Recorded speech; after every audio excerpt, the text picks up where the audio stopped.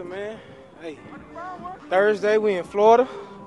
Don't get much better than this, man. Big game coming up, man. Man, my practice cleats, man. It's my um, practice nines. You know, I be trying to hit them every week with something different. Done, done, dollar, done, dollar. Yeah, who's got a lot of done. Hey. It's kind of chill, man. You know, most everybody kind of ready to get back to California, but hey, uh, you can't beat the weather out here. It's good at this time of year. It's just been a good vibe. Everybody's just really focused on playing the game, really. Another day, man. Let's get this hard work in so we can have fun on Sunday. Get that victory, man. That's all that matters. Just win, baby.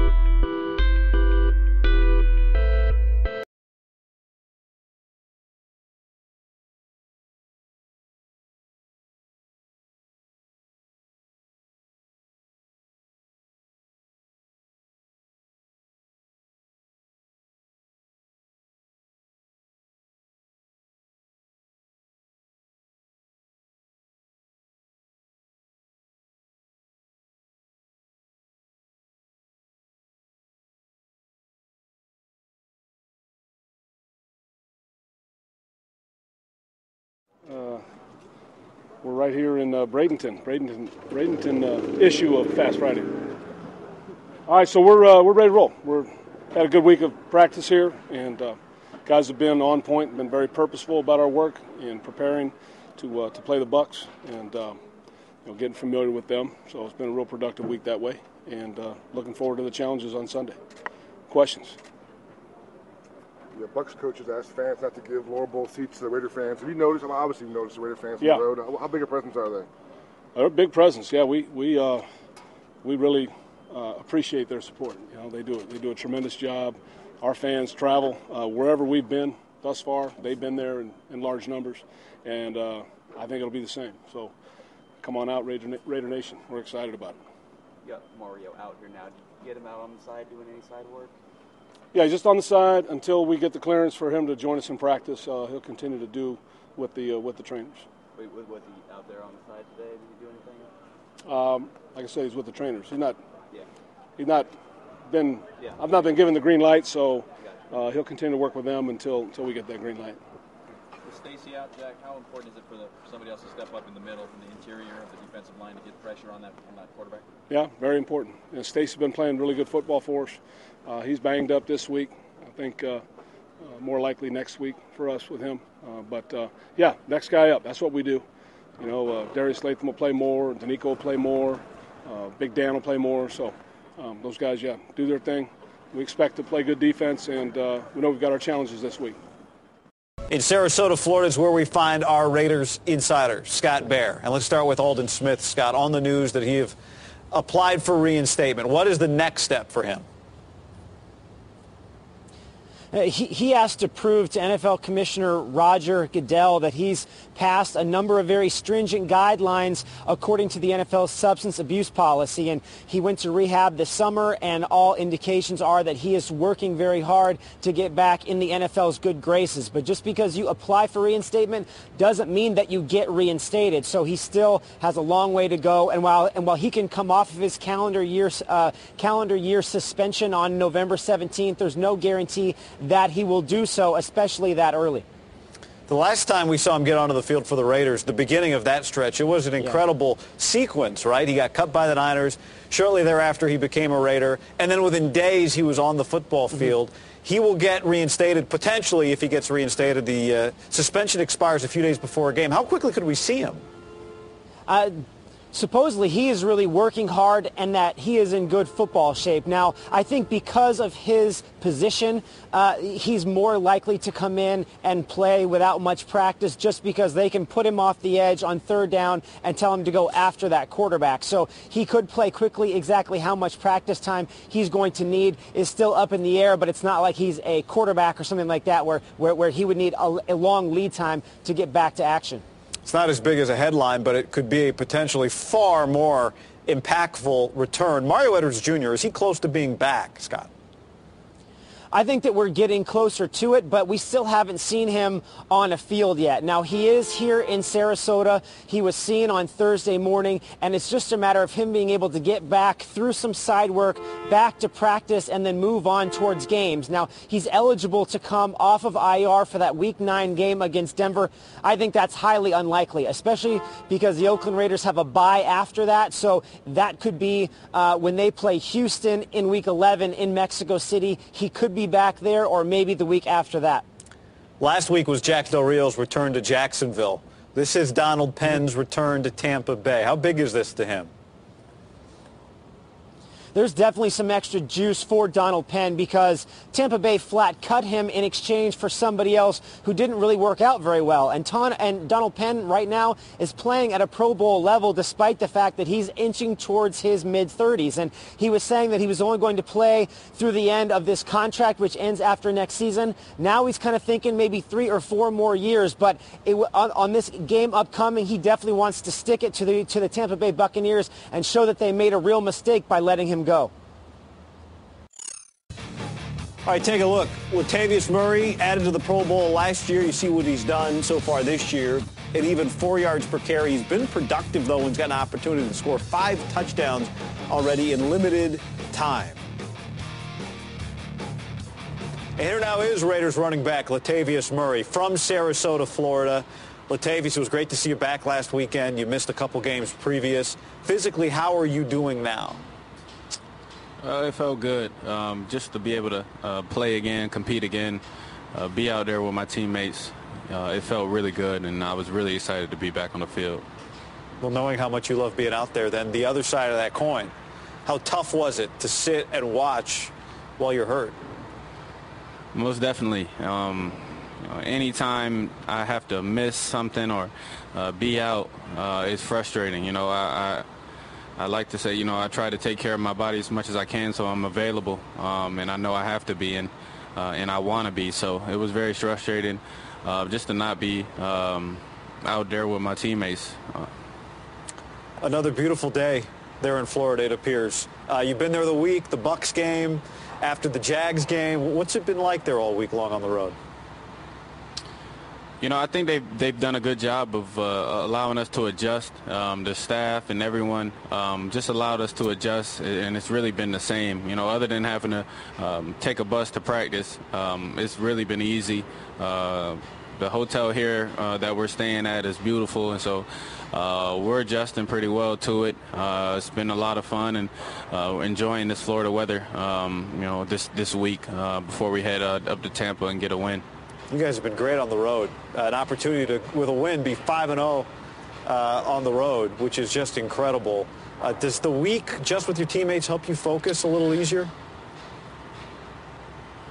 I think it does. Um, I honestly think it does because obviously we're we have to be here together. Uh, we're all staying at the same hotel. No one's going home.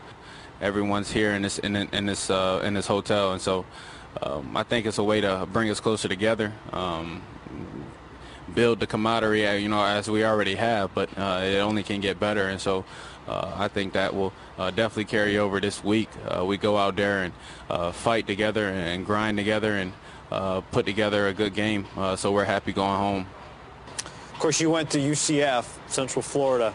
Have you had any chance? I'm sure you got a lot of friends and family. You spent a lot of time there to, to catch up with the folks back home.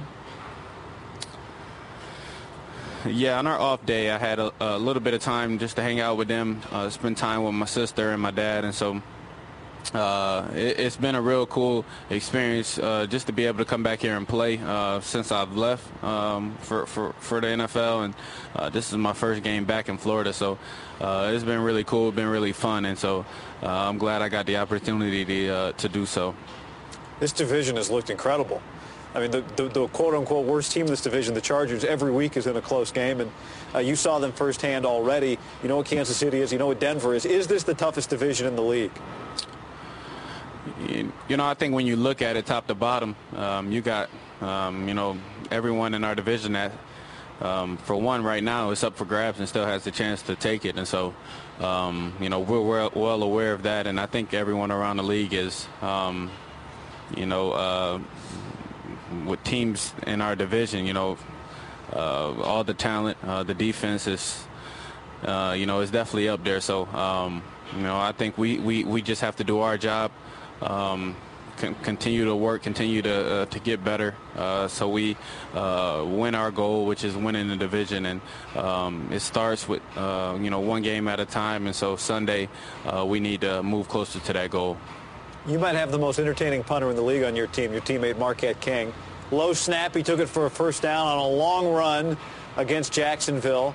How much has Marquette been uh, talking about that play? Yeah, Marquette, I think he thinks he's a, a running back now, or he thinks he's something other than a punter now. So we're going to have to bring him uh, back down to earth a little bit. Uh, and it was his birthday. So I think just this whole past weekend has just been uh, quite quite quite an experience for Marquette. So um, we, we're going to remind him that he's a punter uh, and the best one of the best punters in the league. Um, and so uh, he's good at what he does, man. He's an athlete, a fun guy, uh, and I love him as a teammate. So to be clear, could Marquette King line up in the backfield as a running back? No, no, no, and I don't. I don't think we plan to. I hope not. Well, probably get some rest, get away from home, and relax. You know, before a big game. Fly. I like to fly. It's always fun to go to another city, somebody else's city, and get a win there. That's what I probably like that the most. Being able to focus more, you know, lock in, and go steal the win. I like the atmosphere and uh, trying to find your own energy in the other cities and other stadiums. It's always fun to me. You have nobody on your back but your teammates and yourself. So you have to find your own way. You have to create your own energy. That's what I love about it. Going to somebody else and taking over. I mean, nothing like it. The crowd start off all loud. Next thing you know, they dead silent as you holding up the dub.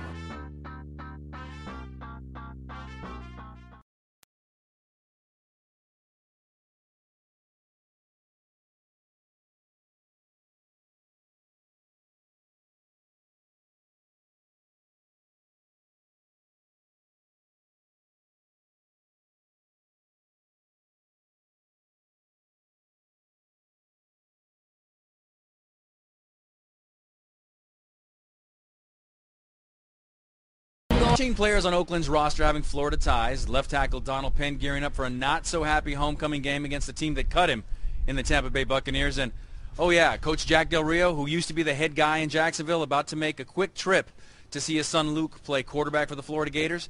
The Raiders' 10-day roadie in the Sunshine State feels like well, it feels like home. Hey, this is NFL Nation Raiders reporter Paul Gutierrez.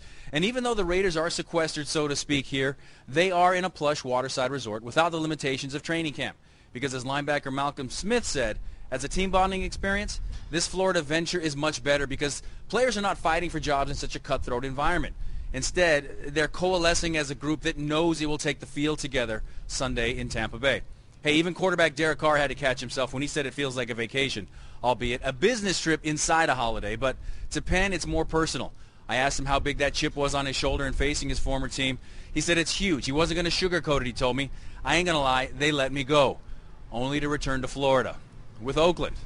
For more on this story and everything else in the NFL, stay logged into ESPN.com. Stayed in Florida because they played Jacksonville last week. They're playing Tampa Bay this week.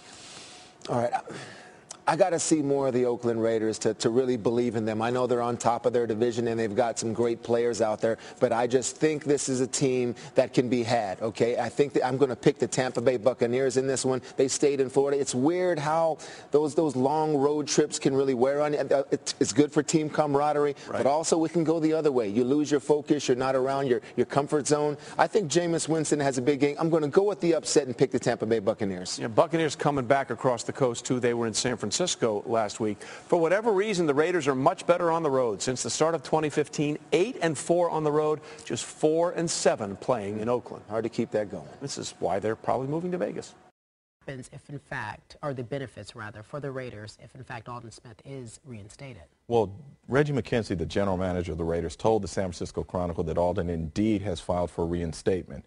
Why this is big for Oakland is that the weak point for the Raiders this season has been their defense. Their last overall, their last in passing yards, their 30th against the run. Aldon Smith, before being suspended for a year for violating the, the, the league's drug policy, was playing very well against the run, and he also has a history as a pass rusher.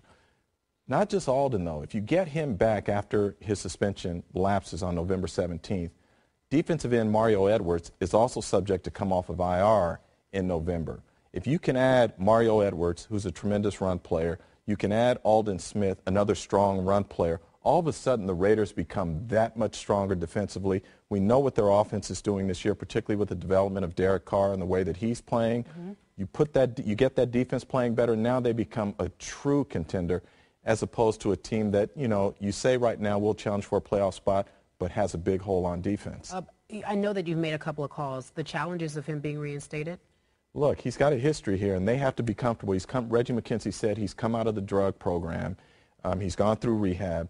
Roger Goodell, now it's up to the commissioner to make the call on this. The commissioner has to be comfortable that Aldon will be okay going forward, and Aldon has to convince him of that. We know there was a video this uh, uh in the offseason with him allegedly smoking a bong, and he went into the program after that. The commissioner has to be sure in his mind that Aldon is okay and in a place where he can be successful going forward, not just on the field, but off the field.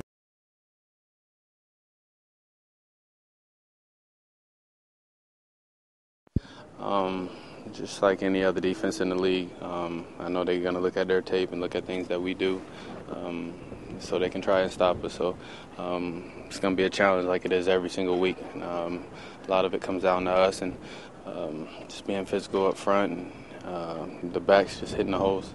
After playing a game and then a week of practice, the, the toe all responded the way you wanted it to? Yeah, uh, most definitely. I feel, feel feeling even better compared to this time last week. So, um, again, I'm excited just to be back on the field again and get another chance to play again.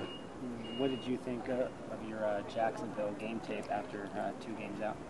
Um, like I always, any game, I feel you know I, there's things that I could do better. Um, I felt for the most part I, I, I, I ran the ball well, but um, you know I, I want to continue to find ways to get better, continue to find ways to um, help the offense out, um, be a bigger threat, and uh, just be a weapon, weapon on offense. You've been pretty good down by the uh, goal line. Is there something about being inside the 10 or the 5 that you kind of get a different mindset? Um, no, I think, uh, you know, when you're obviously when you're down there and you're on the goal line situations, um, I have to find ways to get in the end zone. But uh, even when we're not in those situations and we're further out, uh, down out in the field. Uh, again, that's things that I want to improve on is uh, find a way to break some long runs and get in the end zone that way too. So uh, again, I'm continuing to work to do that, um, making guys miss, um, getting to the second level, and uh, getting those big runs. Hey class, Professor Kennedy here with this week's edition of Chalk Talk, brought to you by the Ray Morgan Company. All right, great job by the guys in Jacksonville, coming away with a victory. Very good. That's exactly what you want. I decided let's take a look back at some of the protection issues that we had throughout the year. In the second half of the season, you still got to face Denver twice. You got to face San Diego again, and we know that disaster that happened with Kansas City. So let's see if we can correct some of the things with these guys up front uh, as we look forward to the rest of the season. Now, in this instance, I want to point out the protection issues. Right now, you've got five guys. You've got four defensive linemen in the box. And this is the fifth most dangerous one. So, in the philosophy of protection when it comes to the offensive line, Rodney's going to be eyeballing him. It's us five on one, two, three, four, five. Okay? Now, as we watch this play develop, it's a simple TE stunt. But what gives is Rodney allows way too much penetration by the nose guard. Ends up being a sack. Now, in this next example, I'm going to go back to the San Diego game because that seems to be the one game that the Raiders had the most problems with penetration and protection issues. Now, again, Let's take the initial philosophy of the offensive line and the quarterback and the running back in this instance, DeAndre Washington. So you look at the protection one, two, those two have that triangle, three, four, five. Now, he runs a check with me system. In this instance, uh, his eyes will go from here as one to here because there's a backup player. You can just see in the corner of the, in the, the picture. The reason why is that if there's anyone that comes from this side and Rodney has to change the protection, then now these two become the most dangerous and that becomes the back's option to pick up. Now, the philosophy of the protection is going to be sound in this next example. But watch what happens as the play develops. Right guard Gabe Jackson, who's playing way too high, gives up way too much of his body. The pocket is collapsed. Derek has no place to step up, and then by the time he's aware of what's going on around him, the Chargers get a sack. So in two examples, we saw the interior protection break down rather quickly, and that cannot happen. Not only do you need sound communication when you're up there at offensive line as to potential responsibilities, blitzing where they're coming from, but you also have to have greater integrity on the interior offensive line, which means the two guards and the centers have got to hold the point of contact and keep these guys out of Derek Carr's face so he can step up in the pocket and make a throw down the field. All right, which brings us to this play, Kansas City game. I know it was a disaster of a game, but let's just look back and figure out how we can get better. In this instance, we'll take a look at the protection. He's got him. He's got him. Center's here, here, here. Now, with the safety being down to the hole, the check with me for the back becomes here to double up to there. Okay? Now, as we watch this play develop, you're going to notice that the protection is sound. It's not the protection that break down. This one's going to fall on number four, our quarterback. He's going through his progression. Teams are going to play zone. We freeze it right here. Derek sees all of this wide open space. He wants to make a play. He's got the athletic ability to do it. But what he has to be mindful of is that there are plenty of people who are around you. And there are all kinds of times where hands are going to come into view that you don't necessarily see. In this instance, it proves to be detrimental because it's a turnover in the red zone. So what did we learn? We learned it's a team effort. Not only did the center and the offensive line have to be good, the quarterback has to be good as well. It's a team effort and an offense that can take you to the next level. The Raiders have done well. They're in the lower part of the league as far as sacks given up, which is a total team effort. Wide receivers, quarterbacks, everybody involved. But it's going to take furthermore and a better part of that effort in the second half of the season. That's it for this week's edition of Chalk Talk. I'm Lincoln Kennedy. I'll see you next week.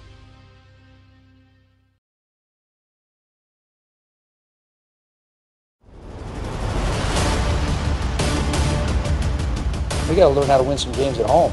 We need to let's keep those Raider jerseys out of the lower bowl. Let's get some Bucs jerseys in there. Let's rock that place next week.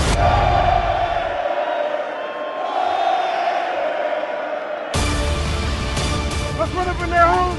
Absolute domination, man. We gotta protect our house. We gotta protect our pride. Hey, let's get the ball. Let's go. Let's go. To hey, let's go get this quarterback. Hey, we came all the way to Florida, man. Y'all know we came from, right? We came from that dog, man. Raider Nation on me. Raider on three. One, two, three. Raider Nation.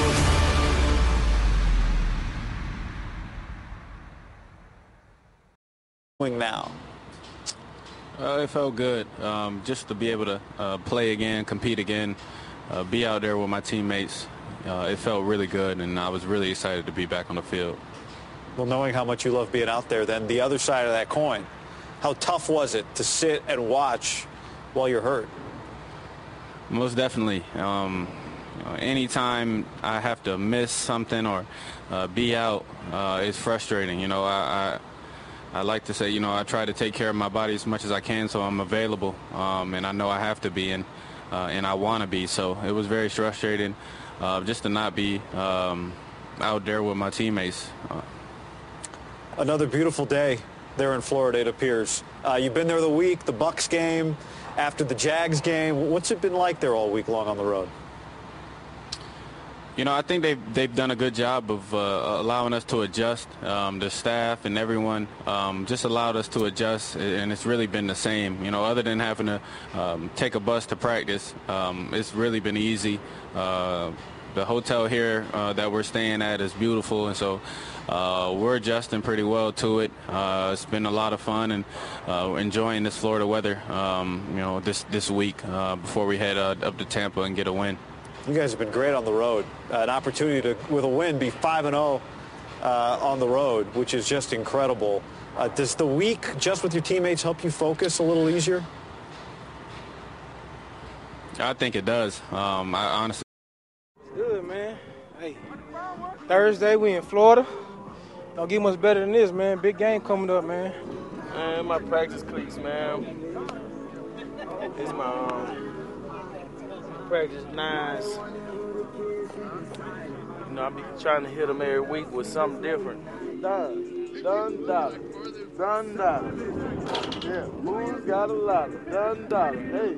It's kind of chill, man. You know, most everybody kind of ready to get back to California, but hey, Uh, you can't beat the weather out here. It's good at this time of year. It's just been a good vibe. Everybody's just really focused on playing the game, really. Another day, man. Let's get this hard work in so we can have fun on Sunday. Get that victory, man. That's all that matters. Just win, baby.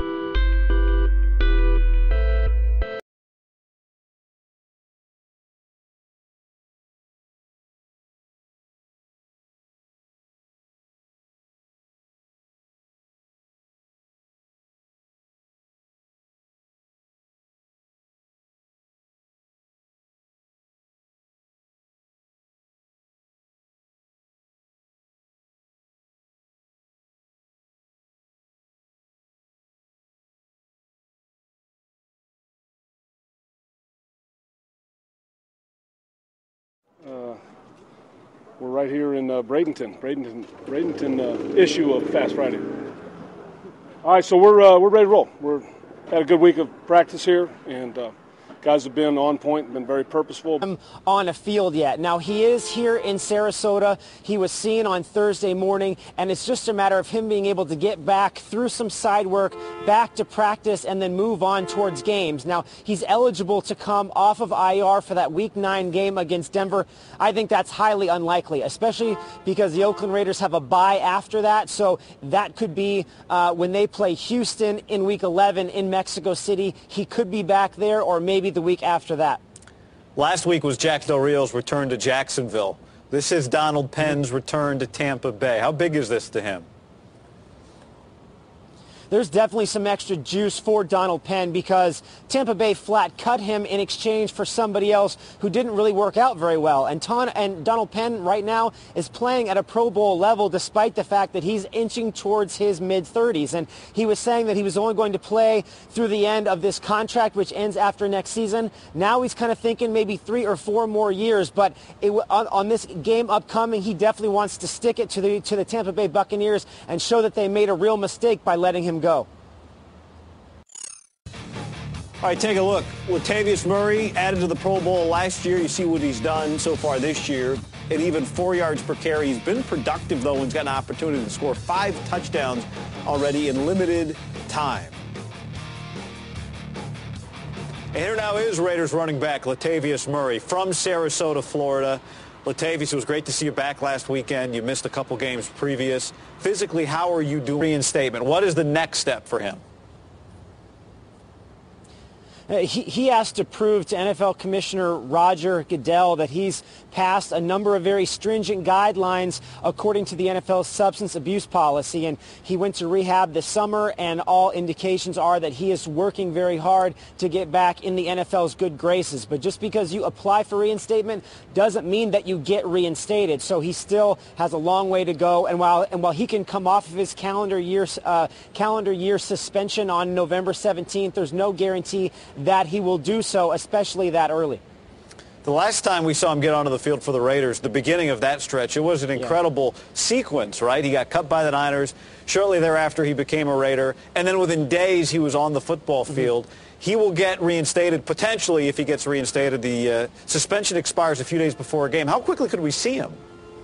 Uh, supposedly he is really working hard and that he is in good football shape. Now, I think because of his position, uh, he's more likely to come in and play without much practice just because they can put him off the edge on third down and tell him to go after that quarterback. So he could play quickly. Exactly how much practice time he's going to need is still up in the air, but it's not like he's a quarterback or something like that where, where, where he would need a, a long lead time to get back to action. It's not as big as a headline, but it could be a potentially far more impactful return. Mario Edwards Jr., is he close to being back, Scott? I think that we're getting closer to it, but we still haven't seen him. About our work in preparing to uh, to play the Bucs and um, you know getting familiar with them. So it's been a real productive week that way, and uh, looking forward to the challenges on Sunday. Questions? Yeah, Bucs coaches asked fans not to give lower bowl seats to the Raider fans. Have you noticed? I mean, obviously, you've noticed the Raider fans on the road. How, how big a presence are they?